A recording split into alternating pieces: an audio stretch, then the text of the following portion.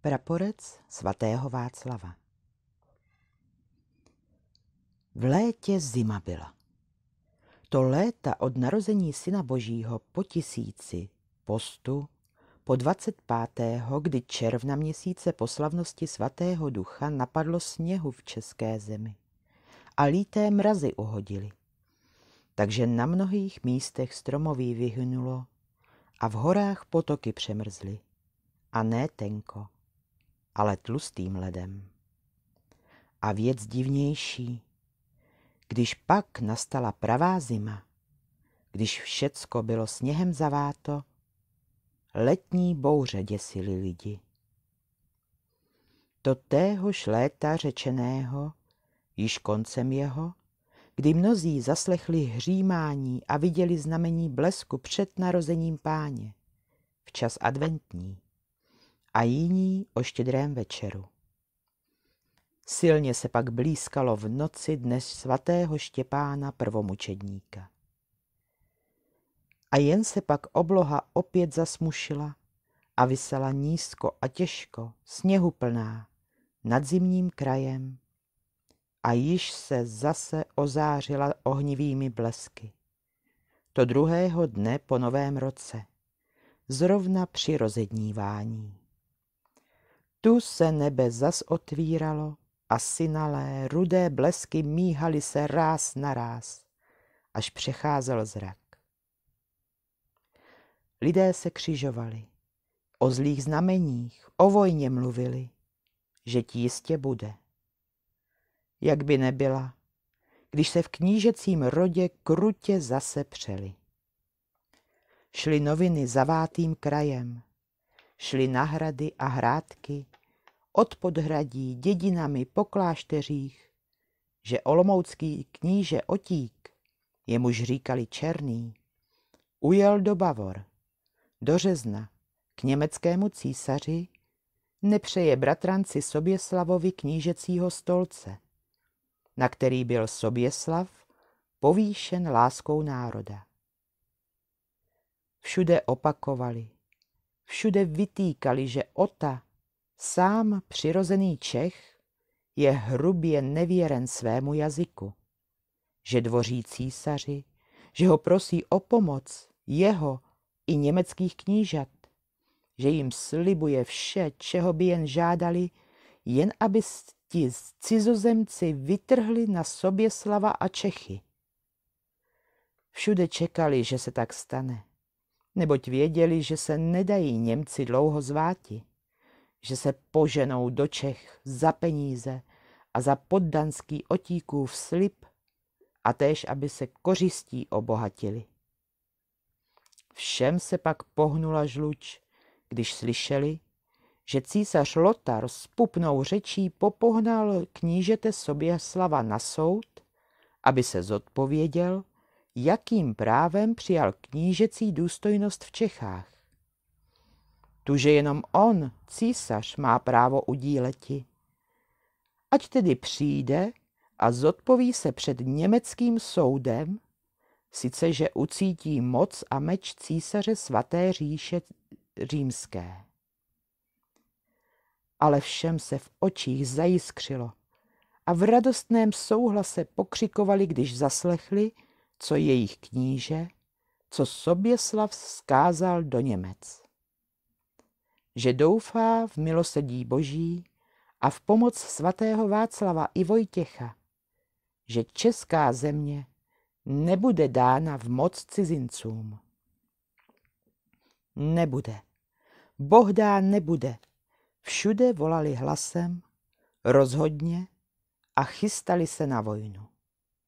Pomýšleli, že vypukne až k jaru, až sejdou sněhy a povyschnou cesty. Znamení blesků nesvítila nadarmo ale v tom za jasné, mrazivé noci ukázala se pojednou na nebi zlověstná hvězda vlasatice.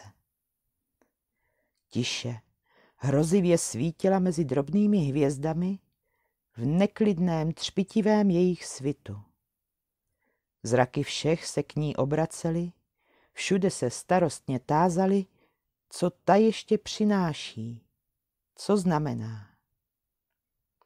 A na zejtří přiletěla zpráva od Krušných hor a udeřila jako hrom z čista jasna. Že Němci již pole sbírají, že císař nebude do jara čekati, že teď už se chystá do Čech. Od Krušných hor k Šumavě, po jihu země, dolů až k Vitorazi, na východ až k polským hranicím, již střežil hrad Klacký, na půlnoc k lesnému valu hor Krkonoší a dál až do Žitavska, až po kámen nad Labem, po vší české zemi i po Moravě nastalo horečné pohnutí, válečný ruch, náhlé a kvapné přípravy. Nikdo nedbal mrazů i toho, že chumelice zavírají cesty. Nepřítel se chystal na vpád do země. Bylo třeba jí hájiti.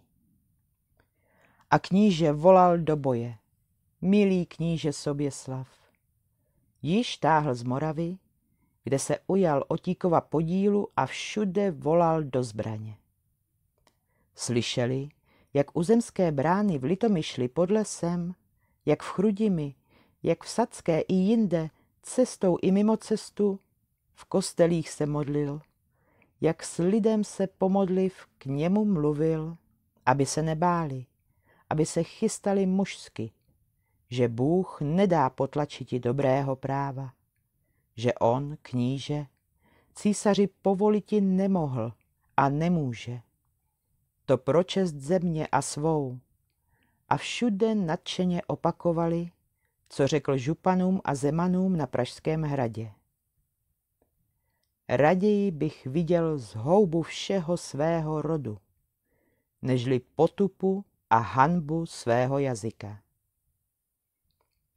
A tak všude a rádi snímali ze stěn zbraň a zbroj, meče, kopí, mlaty, luky a touly i štíty, bohatší přilbice s nánoskem, kroužkové brně i kožené sukně lesklými plátky pošité, a chvátali každý ke svému župnímu hradu pod korouhev župy. I přibyli houfy ze všech žup, z dalekých, blízkých. Přibyli ku Praze, na koních, pěšky, v Brni a přilbách i v kožiších, krznech, v čepicích, beránčích, vlčích, rysích a jiných. Nestejní v odění, stejně však mužného srdce a bitvy žádostivý. Když se tak schromáždilo vojsko českého lidu, poručil kníže Soběslav kněžím, aby přichystali kopí svatého Václava, jež chováno bylo v kostele svatovíckém, aby jen na zejtří, jak vojsko vytrhne, vzali s sebou do pole jako záštitu a ochranu proti nepřátelům. Ale když ráno zasvitlo, když kněží a župané, zemané, lid hrnuli se do kostela na hradě, kde měla býti sloužena mše svatá. Prvé, nežli by vojsko se dalo na pochod. Jediný kníže sám prodléval. Meškal té chvíle v komnatě se svým kaplanem Vítem, jež si dal náhle zavolati. Byl kněz Vít muž celý, muž pro svůj jazyk horlivý, zbožný a statečný, knížeti milý. Teď po ránu oznamoval mu kníže, vzrušen a pohnut podivnou věc. Slyš, pravil, jaký jsem měl této noci sen. Zdálo se mi, že přistoupil k mému loži svatý Vojtěch a poručil mě, abych vzal do války praporec jeho otce. Ten praporec, že je uschován ve Vrbčanském kostele. Divné to bylo vidění. A chci ho poslušen býti. Ale již není prodlení. Všichni na mne čekají a je čas, abychom vytrhli. Vypravíme se hned po mši. Ale ty, kněže milý, učiň mi povůli vsedni na kůň a pospěš do Vrbčan přesvědčit se. Vezmi zbrojné sebou, ať nejedeš sám. Najdeš-li ten slavníkův praporec, vezmi jej ve jméno mé a rychle jeď za námi, abys nás stihl ještě včas. Statečný kaplan, potěšen divným viděním, rozjařen nadějí v pomoc vyšší, ochotně, s radostí a bez meškání vyplnil vůli svého knížete. Nežli bylo pomši, nežli kníže za zpěvu všeho vojska vytrhl do pole, byl již z Pražského hradu. Dva dvorští zemané a několik zbrojných jelo s ním.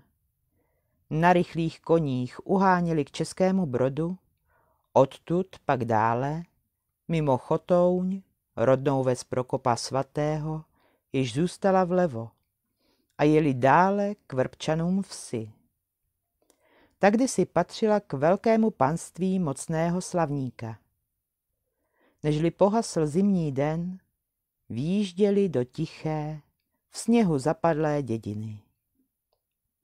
Nad ní, na mírném návrší, pnul se k zardělým nebesům okrouhlý kostel, hrazený vysokým náspem i zdí. Věž v popředí čněla, hájící jediné brány v ochranné zdi. Tam plebán uvedl knížecí posly hledat skrýše z korouhví svatého Vojtěcha a jeho rodu. Den zhasínal a šero se kladlo tichou svatyní veskou.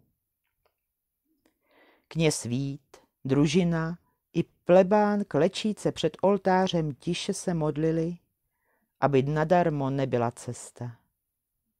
Pak rozžehli voskové svíce a hledali. Až za oltářem ve zdi uhodili na skrytý výklenek a v tom výklenku na starou rouchu, na hedvábný pruh neširoký, od polovice rozdělený ve dva uší pruhy s vyšitým znamením hvězdy. I zaplesali všichni a poklekli za knězem Vítem, jen špadnuv před oltářem na kolena, hlasem velebil Boha, že jim popřál toho znamení a naděje vítězství do těžkého boje.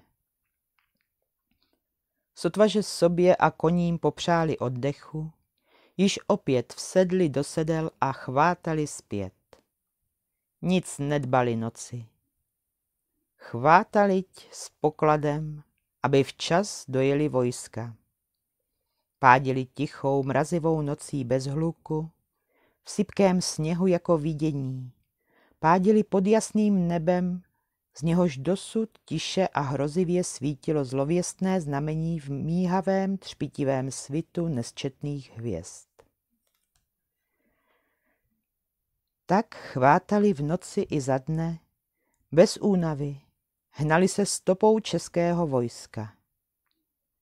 A byla stopa patrná, zdaleka znatelná, široká to cesta ve sněhu, zdupaná, plná nesčetných šlépějí, znamení podkov i lesklých na slunci pruhů po těžkých saních. Tou cestou ujížděli bez rozpaků stále na sever. Před nimi se vznášel mrak bělavé páry, jaký vyráželi pádící koně z rozšířených chřípí.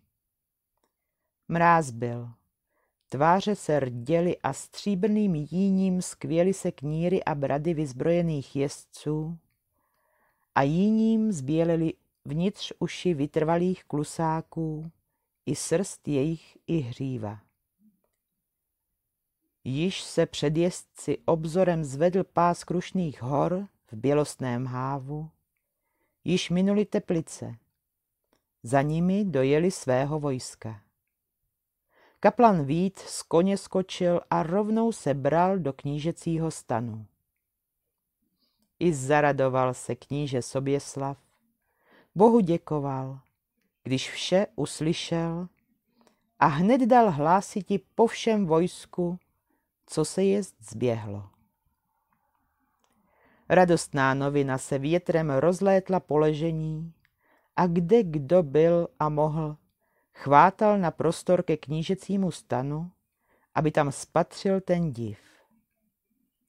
Tam stál sám kníže, statečný pán, v šubě vzácnou kožešinou lemované, stál na hrubých saních, aby byl ode všech viděn, a s ním kněz Vít.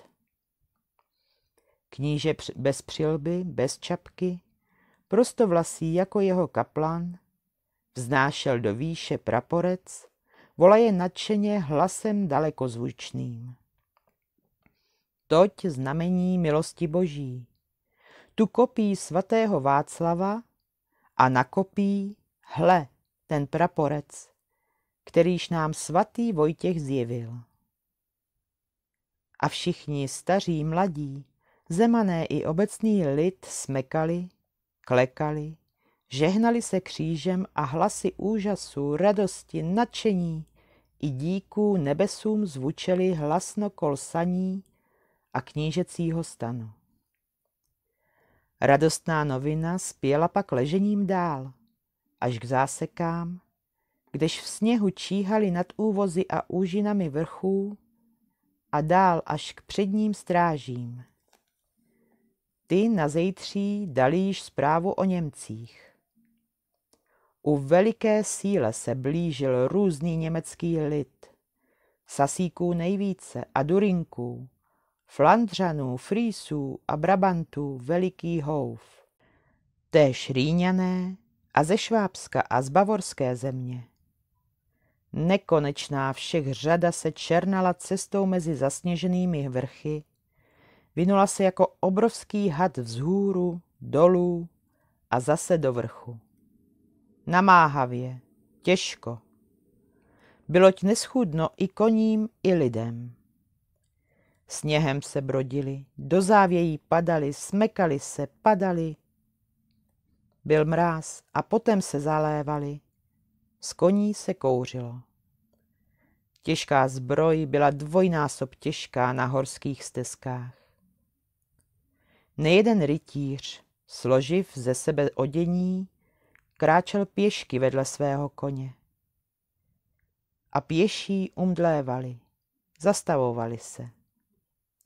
Ale rytíř jen šel v předních řadách v kroužkové brni, statečný markrabí Albrecht, řečený medvěd, a vedle něho pán snědého líce a černých vlasů, v plné zbroji. Sám otík černý, jen kupředu kinuli a pobízeli. Tak dospěli výše a již dolů se pouštěli klikatou, neschůdnou cestou, až přední houfy i valný voj se dostali nadol. Tam, v chlumeckém oudolí, stálo již české vojsko v úplném šiku. Nad houfy se třepetaly korouhve zářícím mrazivým vzduchem a nad ně nejvýše praporec svatého Václava. Praporec všeho vojska. Kaplan Vít jej držel, mají na sobě brnění a přilbu.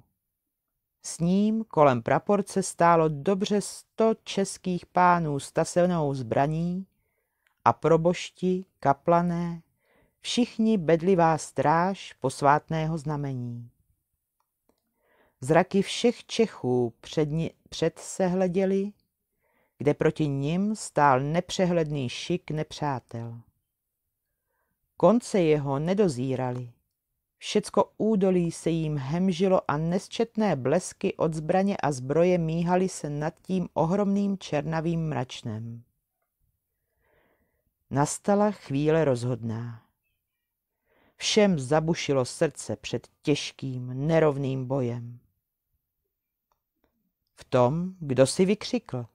Vzhůru ukázal a hned všichni pohlédli k nebesům, kdež zářícím vzduchem plul veliký orel. Na mocných perutích, široko rozepjatých, nesl se nad českým vojskem a letěl vpřed, přímo k německým vojům. Jak z úžasu stichl všeliký hlas a hluk, Slyšeli všichni skřek velkého orla. Proti Němcům letěl, proti ním křičel, jako by cítil svou kořist. ještě nezaniklo dobré to znamení a slyš, mohutný zvuk se ozval nad českým vojskem. Zazvučel zvonu hlas a za ním se rozhučel zvonů velebný hlahol a nesl se nad hlavami všech. Vše žaslo. Tajemný zvuků proud dojímal vše a všechny povznášel. Líce se jasnila, zrakové zářily a mnozí se chvěli pohnutím.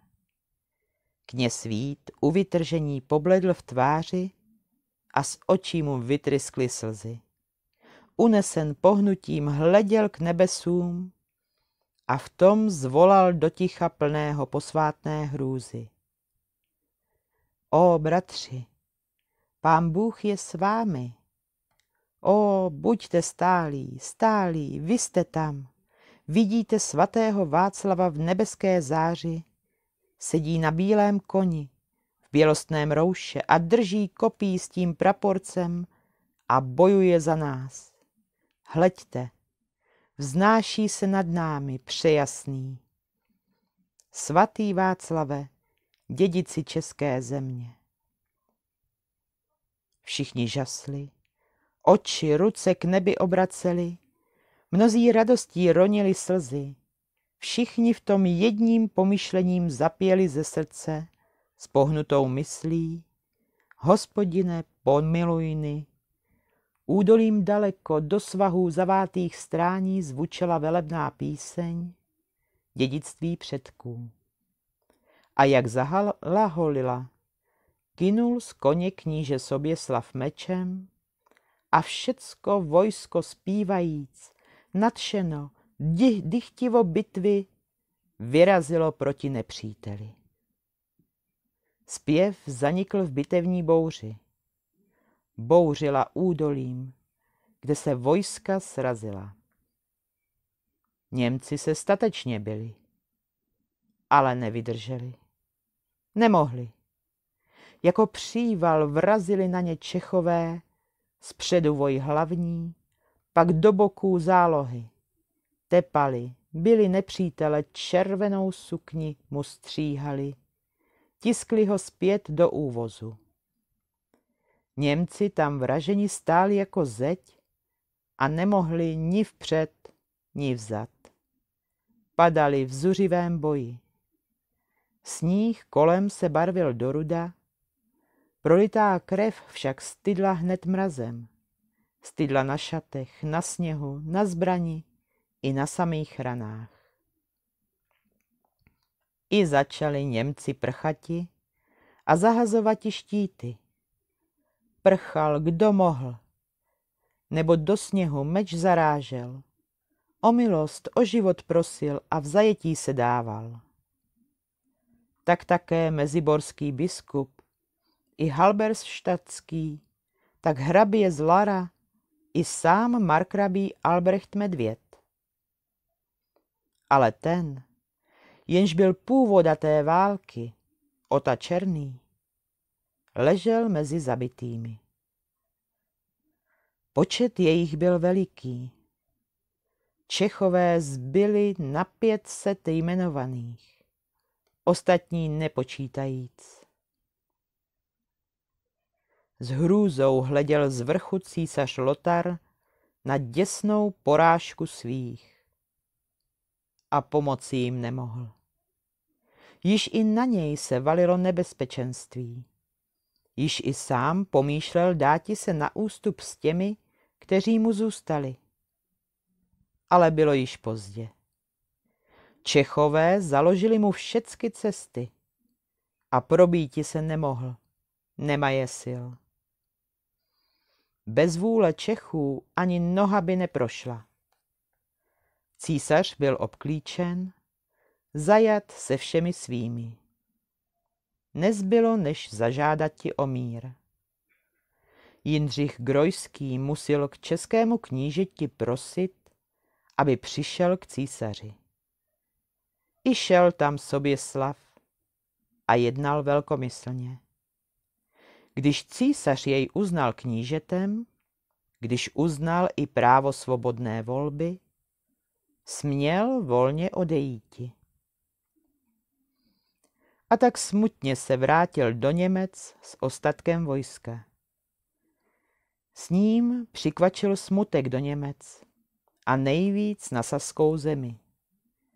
Ta ztratila na české půdě nejvíc mužů a stolika vznešených rodů. Ale vesele táhlo od chlumce do Čech vítězné vojsko s přemnohou kořistí. Radostné zprávy letěly před ním. Všude s úžasem naslouchali o divné pomoci boží, o znameních, o svatém Václavu a jeho praporci a mluvili, že ani otcové, ani dědové neměli jsou takové cti, jaké tou chlumeckou bitvou Čechové dobili. Nevýslovná radost byla po vší zemi a s velikou ctí a slávou vítali v Praze statečného knížete Soběslava a jeho vojsko. Ta chlumecká bitva slavně jest vybojována 18. dne měsíce února, léta od narození páně tisícího stého 26. kteréhož léta také nejjasnější kníže Soběslav znovu vystavěl na hoře Řípu kapli svatého Jiří. A tu kapli pak vysvětil zdík kostela olomouckého biskup, syn ctihodného letopisce našeho kosmy. A ještě ať zvíte o jiném slavném vítězství našich předků, též o zázračné pomoci za toho boje a podivném vidění, jež přitom měl Jan, syn Svojslavův. To bylo léta 1260. kdy český král Přemysl II. bojoval s Uhry. S jejich králi Bélou a mladším Štěpánem. Dlouho proti sobě ležela obojí vojska na poli moravském, dole v rakouské zemi na březích Moravy řeky. Na pravém Češi, na levém Uhři a jejich spolčenci. Poláci, Rusové, Charváti a Srbové. A Srbové z bosenské země. Valaši, sekelští Maďaři i Tataři a divocí Kumáni, jimž také říkali plavci. I Turci chovaresemští. A všech bylo sto a čtyřicet tisíc a ještě více. Síla veliká, zvláště jízdného lidu. Český král měl jenom sto tisíc mužů. Z těch sedm tisíc bylo českých jezdců od hlavy do paty v kroužkové a plátkové brni, na koních také železem krytých. A byli v Přemyslově vojsku Čechové, Moravané, Slezáci a něco pomocných Němců z Rakous a Branibor a Němci a Slovinci z Korutanské země a bylo při králi mnoho znamenitých pánů českých a moravských. Pan Vox z Rožmberka, nejvyšší maršálek Českého království, Jaroš z Poděhus, pražský purkrabí, ten opatroval zemskou korouhev na kopí svatého Václava. A kounického rodu Heřman z Rychnova, podkomoří a nejvyšší komorník Bavor ze Strakonic též Vilém z Poděbrat a Zdislav ze Štemberka, pak pana Záviše z Falkensteina otec, Budivoj z Krumlova a jiní Vítkovici a páni českých a moravských rodů. S nimi pražský biskup a olomoucký a také někteří němečtí rytíři a knížata z říše. Tak ležela obě vojska proti sobě a řeka proudila mezi nimi. Žádnému se nechtělo brodit se na druhý břeh před tváří druhého, aby nevzal od něho škodu. I míjel den po dní, a když týden již minul, smluvili se králové vzájemnou smlouvou, již stvrdili přísahou, aby Čechové v určitý den, jenž byl jedenáctý měsíce července, ustoupili dál od řeky. A na zejtří, dne dvanáctého, aby Uhři volně a bez překážky přebředli na jejich břeh, pozejtří pak třináctého, v den svaté Markéty, aby svedena byla rozhodná bitva. Tak sjednáno, tak svatou přísahou stvrdili uherští králové a jejich velmožové. Ale přísah svých nedbali a proti ujednání, když nalezli brody sobě příhodné, přeplavili se uhři hned v noci na druhý břeh a tu pak s bezčíslným počtem z dne 12. a dne 13. udeřili na Čechy. Ti, spoléhající na smlouvu a přísahy, ničeho se nenadáli a na boj se ještě nechystali. Jejich vojsko nebylo ani všecko pohromadě, neboť mnohé houfy se rozjeli na pícování. A tak, jakmile uhři se na ně obořili, dostali se Čechové v nebezpečenství velmi velké. Uher je půlkruhem obklopil, sám silnější.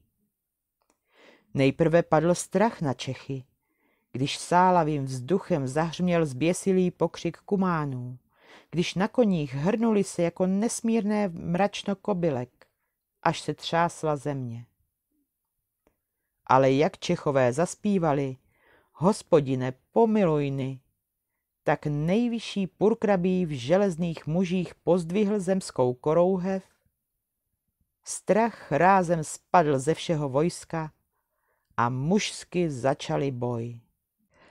A kamkoliv se pak pan Jaroš z Poděhus s praporcem obrátil, všude nepřátelé ustupovali, couvali, obraceli se na útěk a železní muži nedošli žádného ourazu, ani jejich koně. Když se ta zuřivá bitva začala, bylo odpoledne a dusno až mrtvo.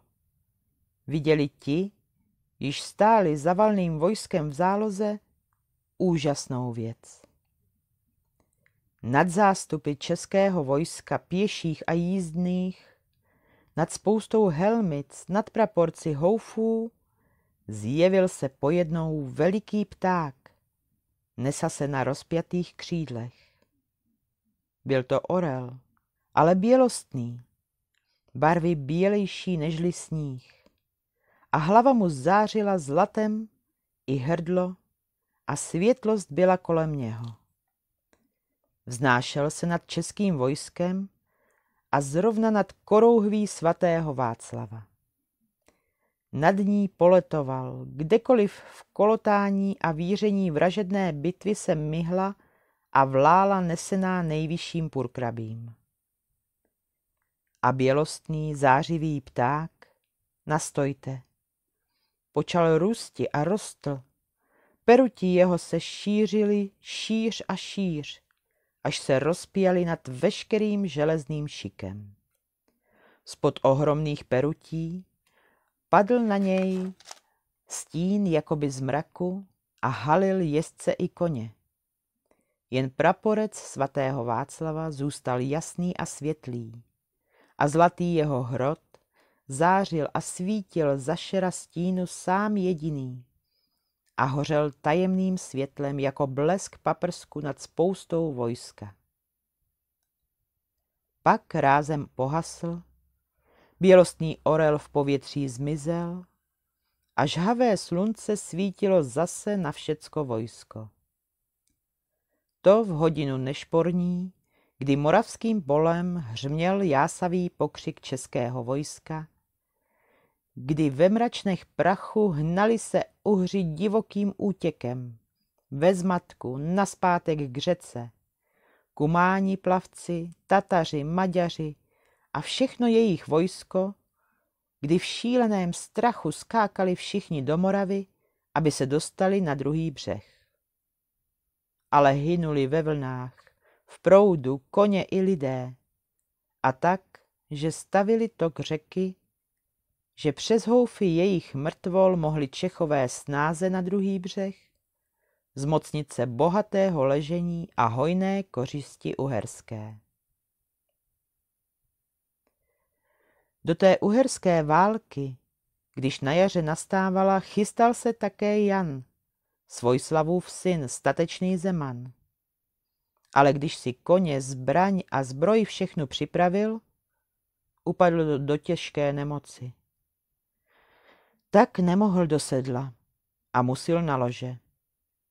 Tu přeležel nejeden týden, ale nejvíce ho trudilo a proto teskný býval, že nemohl s králem na vojnu. A pak, že nešli spole do jeho dvorce žádné noviny, jichž se nemohl dočekat. Jednou všechen dvůr odpočíval ještě vnitřním šeru, upadl v těžký záchvat, takže přátelé u jeho lože myslili, že nastala jeho hodina. Syna loď mu líce, přivřené oko jakoby haslo a bolestnými vzdechy zvedala se prsa. Pak utichl, ležel a šlíce se počalo měniti. Oživlo barvou, rty se usmály a v tom otevřel oči, splna a jasně, čile se vstyčil a sedě na loži, promluvil hlasem radostný ti plným. Děkujte Bohu, velepte ho, jakož já ho velebím. Děkujte a slyšte, co jsem té chvíle viděl. Pryč jsem byl na poli v boji, viděl jsem náš český lid, ale nedobře šikovaný proti uhrům. A ti z nenadání na naše uhodili a zle bylo, až se mi srdce chvělo úzkostí. A v tom zhlédl jsem, o, slyšte, v jasné záři svaté dědice. Nejprve svatého Václava v lesknoucí se brni a přilbě na hlavě. Po boku měl meč ve zlaté pochvě plné perel a v pravici nesl svůj praporec. A za ním svatý Vojtěch v biskupském rouše, pak svatý Prokop opat, ten měl berlu v ruce. A naposled kráčelo pět bratří mučedníků v řeholním rouše. Svatý Václav se ohlédl na svatého Vojtěcha a Prokopa a na všechny i řekl, zřetelně jsem slyšel. Naše vojsko mdlí, protož pojďme jemu na pomoc. Jak to pověděl, obrátil praporec proti nepřátelům kteříž všichni se pak obrátili a prchali, když naši do nich statečně byli, zpívajíce tu sladkou písničku Hospodine. Jan Svojslavův sepěl ruce a všichni kolem jeho lože se divili a pravili. Jistě dal dnes pán Bůh vítězství našemu králi.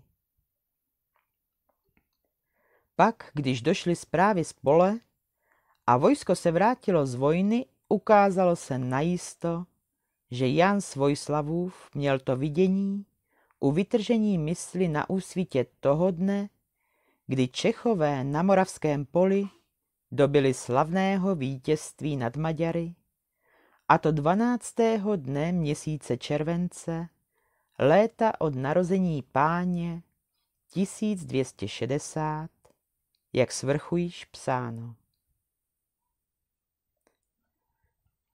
Praporec svatého Václava zmizel za bouří, jež stíhali naši vlast. A není paměti, jak za své vzal, za které doby. Jen pověst těší, že nebyl zničen rouhavou rukou, že se nestal kořistí cizích, nýbrž, že je ve vlasti a zase tam, kde býval a odkud byl před věky vzat v čas hrozného nebezpečenství na záštitu a povzbuzení českého vojska. V hrazeném kostelíku Vrbčanském. Tam však již neodpočívá v bývalé schráně, nýbrž v bezpečnější, ale také nedostupnější. V chlumku pod kostelem, v pevném sklepení na mramorovém stole. Ticho tam. Řínčení zbraně umlklo i hrdin hlas. Ale v šeroté kopky, jimž svítí zlatý hrot svatého praporce jako naděje v temnotách protivenství, zaléhá z hora ohlas bitevních zpěvů. Hospodine, pomiluj a svatý Václave, vojvodo české země. A svědčí, že potomci nezapomněli, že živa v nich odvaha a že neustanou zápasiti pro právo této země a pro jazyk otců.